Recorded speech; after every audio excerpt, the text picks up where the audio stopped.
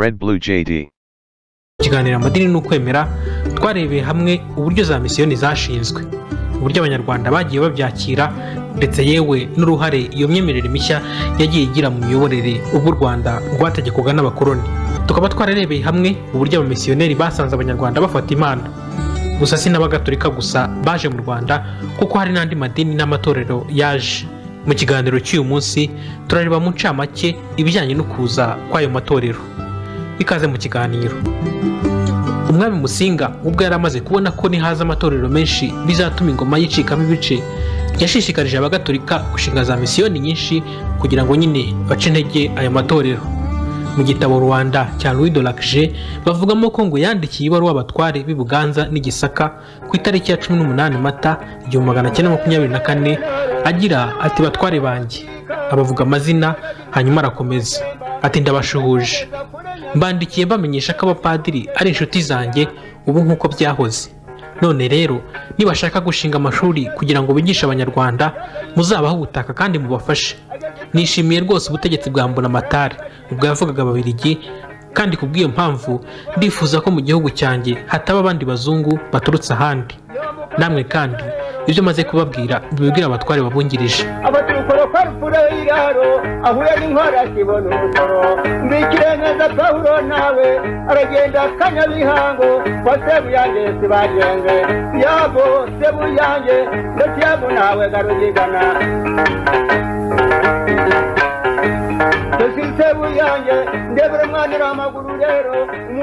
nk'uko igitabo les autres chrétiens cyanditswe na dr. Tarisisi gatwa na dr. Andre karamaga kibivuga ngo abaprotesitanti batangiye kugera mu rwanda ahagana mu gihumbi magana cyenda na karindwi.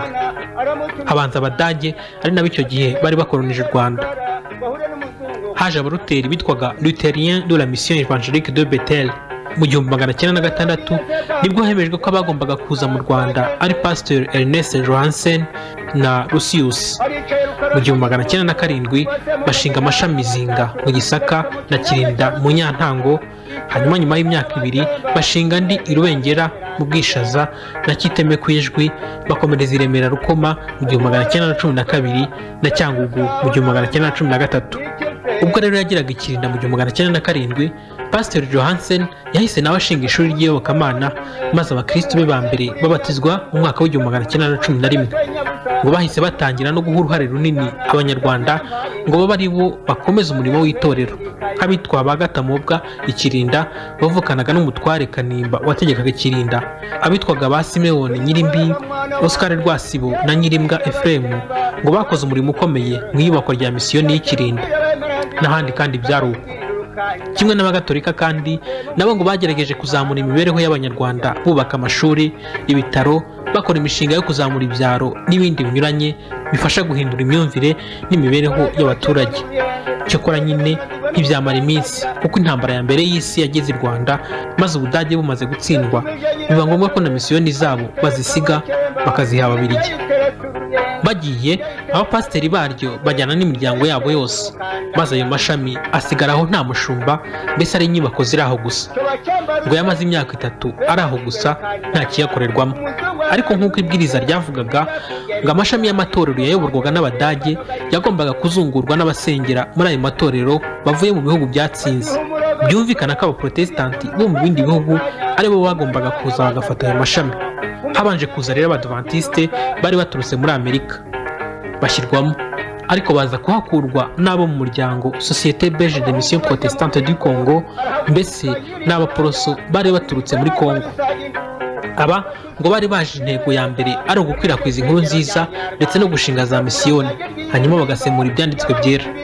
Indi ntego ya kabiri ngo ari ugushinga amashuri ibitaro ndetse n'ibindi bikorwa by'imyuga no guteza imbere ubuhinzi. Ku itariki ya makumyabiri n'umunani kanama igihumbi magana cyenda mirongo itanu n'icyenda ni bwo ku mugaragaro hatangajwe itorero rishya ryashinzwe mu rwanda. Rikomotse nyine kuri ya sosiyete belge de mission protestante du congo maze ryitwa eglise evangelique presbyterienne au rwanda cyangwa se epr mu magambo ahinnye. Abapasiteri baryo ba mbere babanje gutorezwa muri kameruni ni nasoni hitimana waje no kuriyobora ku rwego rw'igihugu na ildefonse muziga mfizi yewe nyuma bwa mbere mu rwanda haba umupasiteri w'umugore witwaga renate ndayisaba narishe kanze nyamugiharo na nyirasiro na beterafunga na mushishi wa mutube n'umurengeye niko namugize ndakuramya rye rw'intimba ry'abahutu bise nyiraburi maze uranzamure kwa rugigana.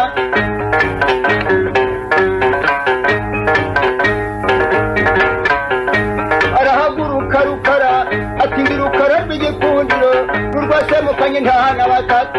Yarutse mu kinyange cya rutiruka. N'abasore inkwaya n'abigaruka na caruhinga na nyiringabo na nyamuromba n'abigera kure.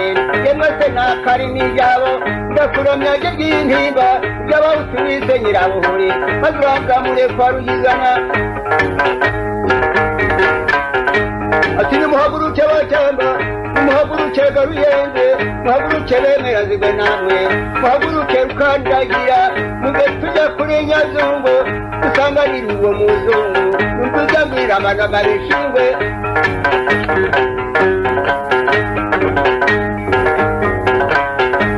aramunutse rukarabishingwe yagiye gakure nyazungu ahura n'umuzungu rugizana rugizana ati urukara uretse mpahisha mu gitondo.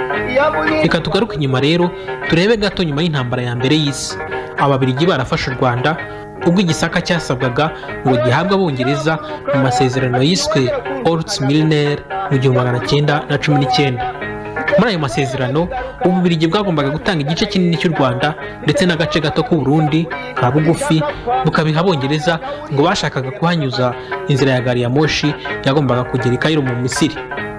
Muri ayo masezerano u rwanda rwatakazaga igisaka uduce twa mubari na mpororo mu ndorwa ndetse n'igice cy'umutara n'ubuganza. Mbese hafi ya kimwe cy'umunani cy'u rwanda cyaragendaga. Ababirigi ngo ntibabyishimiye na gato. Ariko noneho umwami we biramubabaza biramurakaza. Babibonamo agasuzuguro karenze. Noneho n'abamisiyoneri b'abagatolika rero ntibabibona neza. Kuko ahantu habo mu gisaka hari hagiye kujya mu maboko y'abongereza kandi bo bafite idini ritari gatolika ahubwo ari abangirikani bityo bakabona ko bazahatakariza abayoboke benshi. Perezida wariho icyo gihe i kigali witwaga van den ed atumaho abamisiyoneri yari azi neza ko ari bo bazi igihugu. Abasaba kwandika inyandiko yerekana uburyo iri gabanywa ry'igihugu ryari rikozwe nabi. Padiri class ngo yanditse inyandiko y'amapaji atanu ku itariki ya makumyabiri gashyantare igihumbi magana cyenda na makumyabiri. Nyamara ku itariki ya makumyabiri na kabiri werurwe umwaka wakurikiyeho igisaka cyahawe abongereza. Nyuma musenyeri hiriti ngo yagiye agirira inama nyinshi buruseli mu bubirigi maze bahabwa umwanya wo kwerekana ikibazo gihari. Ububirigi bwemererwa kongera kwicarana n'ubwongereza bakiga kuri iki kibazo. Ubwongereza ntibwazuyaza kubyemera kuko n'umushinga bari bafite wa gari ya moshi ngo wari warahindutse utakinyuze muri ako gace.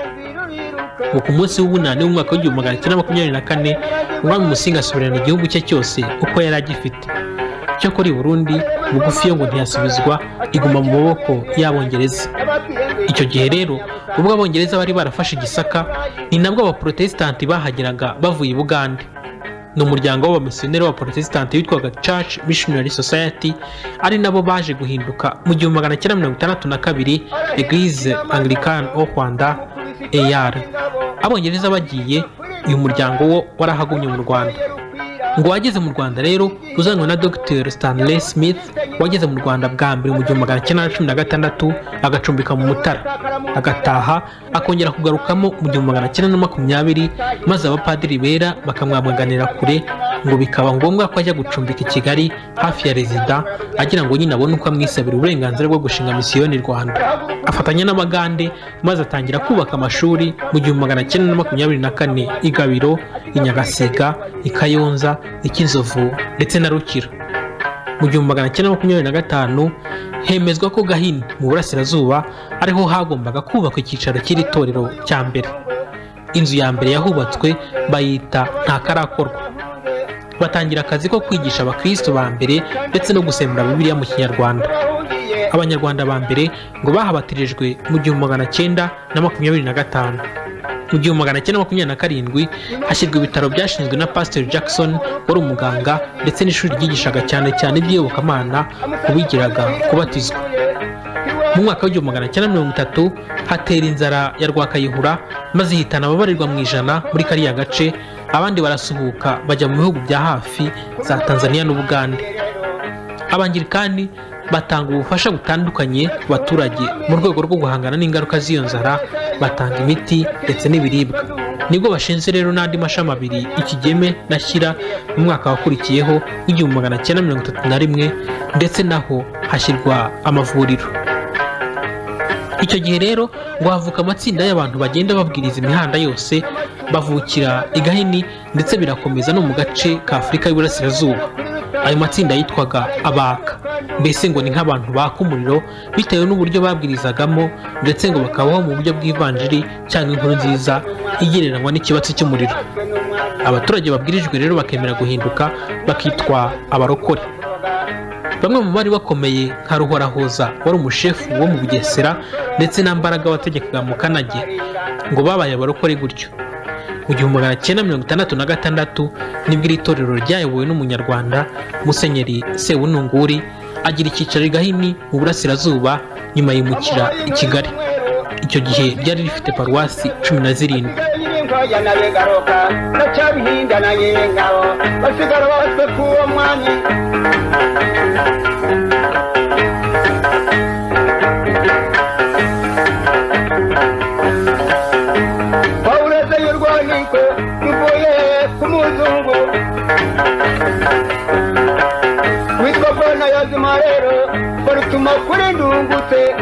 bazafate rukara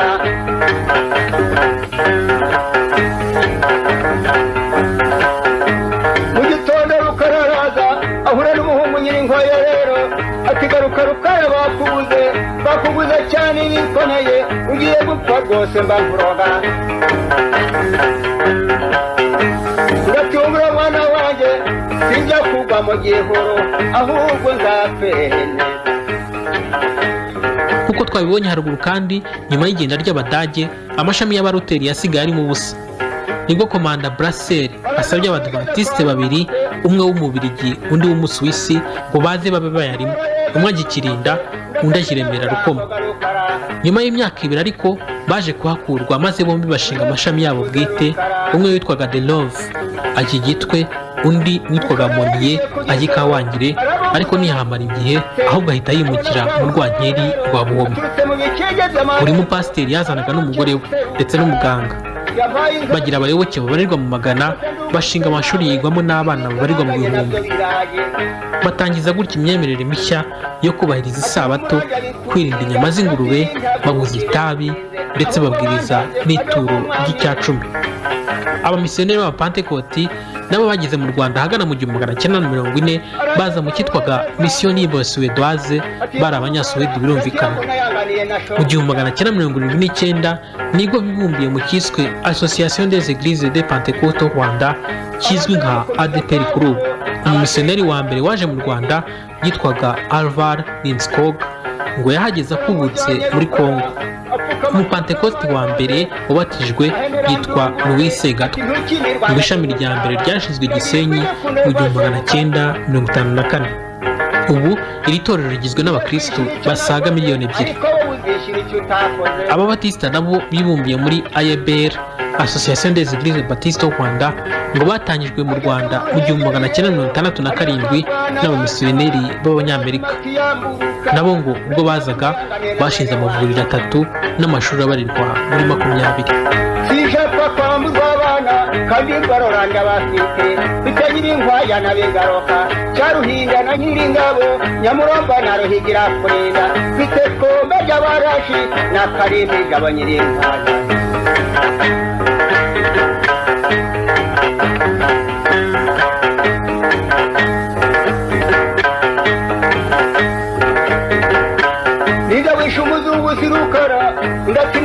ko numva se ngo muzi kwandika kandi tubimbariza iki ibarura rusange ry'abaturage rikorwa n'ikigo cy'igihugu cy'ibarurishamibare national institute of statistics ryo mu bihumbi bibiri na cumi na kabiri ryashyize aya matorero mu byiciro umunani mu kwerekana nyine imibare iyerekeye. Hari abagatolika raporo y'iri barura igaragaza ko bagera kuri hafi mirongo ine na kane ku ijana by'abaturage ni ukuvuga ababarirwa muri miliyoni enye n'ibihumbi magana atanu mirongo icyenda n'icyenda na magana atatu mirongo irindwi n'umwe. Hari abayisilamu. Mu rwanda rero mu mwaka wa bibiri na cumi na kabiri babarirwaga ku kigereranyo cya kabiri ku ijana ni ukuvuga abarenga gato ibihumbi magana abiri na cumi n'umwe. Abaprotesitanti ngo babarirwa ku ijanisha rya mirongo itatu n'umunani ku ijana ni ukuvuga abaturage babarirwa hafi muri miliyoni enye. Abadovantiste b'umunsi wa karindwi nabo ngo babarirwa ku kigereranyo cya cumi na kabiri ku ijana ni ukuvuga abaturage bangana na miliyoni imwe n'ibihumbi magana abiri birenga. Hari n'abahamya ba yehova babarirwa ngo hafi mu bihumbi mirongo irindwi. Hari rero n'abemera ibya gakondo bya kera. Iri barura ryerekana ko ngo abafite iyi myemerere bagera ku gihumbi magana atanu na cumi. Abatagira idini nabo babarirwa ku ijanisha rya kabiri n'igice. Ni ukuvuga hafi ibihumbi magana abiri mirongo itanu birenga urebeye ku myaka abagatolika benshi ngo bafite mu myaka za mirongo itanu naho abaprotesitanti bo hakiganza hagati y'imyaka cumi n'irindwi kumanura na cumi n'irindwi kuzamura ukageza kuri mirongo ine n'icyenda. Abayisilamu bo ngo higanza abafite hagati y'imyaka cumi n'umunani na mirongo ine n'icyenda. Abatagira idini nabo ngo higanza hagati y'imyaka cumi n'umunani na mirongo ine n'icyenda.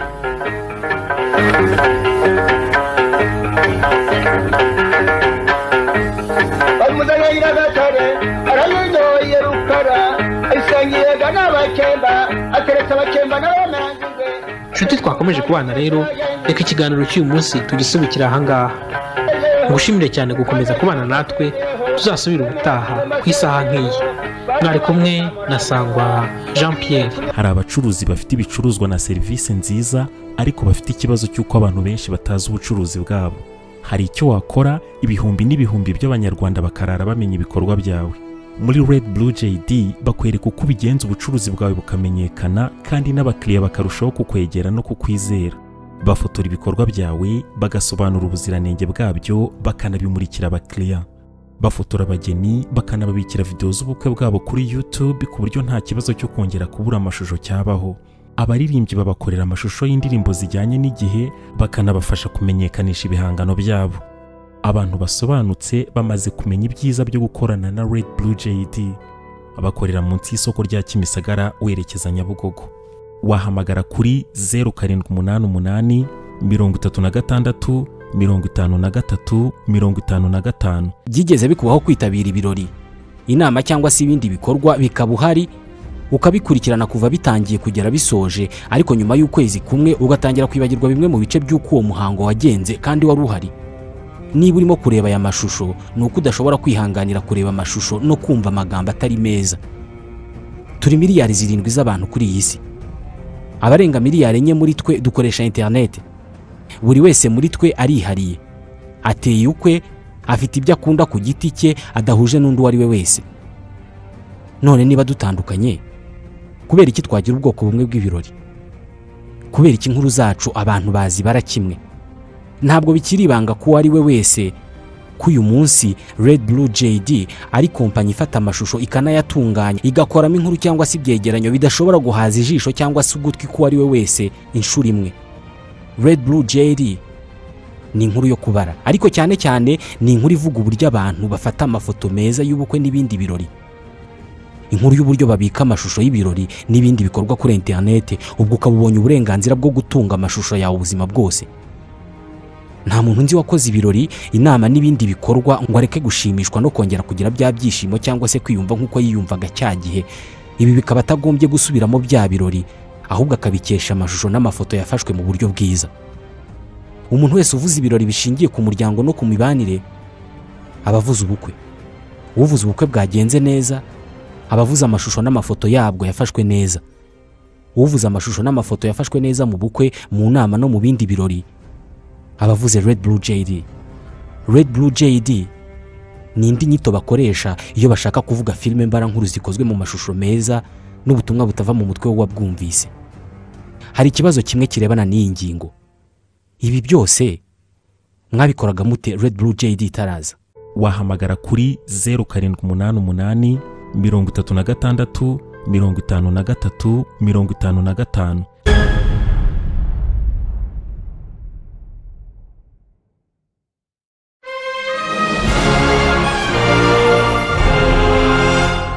Red Blue JD.